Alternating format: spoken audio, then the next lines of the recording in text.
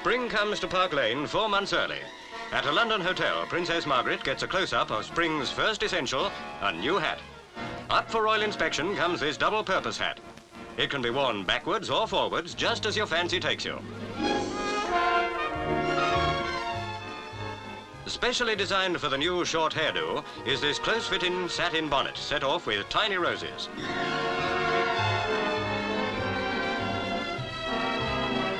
Here's one for garden parties. A flowered, large-brimmed, romantic picture hat.